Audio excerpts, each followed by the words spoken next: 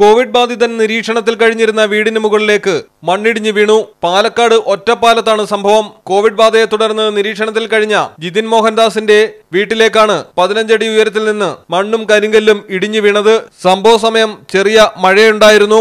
വലിയ ശബ്ദത്തോടെയാണ് മണ്ണിടിഞ്ഞു വീണത്. മണ്ണ് ഉള്ളിലേക്ക് വീഴാനുള്ള സാധ്യതയിൽ ആശങ്കയിലായിരുന്നു നാട്ടുകാർ. ജെ സി ബി എത്തിച്ച് മണ്ണ് മാറ്റുന്ന പ്രവർത്തികൾ തുടരുന്നു. നിരീക്ഷണത്തിൽ കഴിയുന്ന ജിതിൻ മോഹൻദാസ് വീട്ടിൽ സുരക്ഷിതനാണ്. Malayalam television Palakkad The first touch of love. Thempattil jewellery Tirur Kottakkal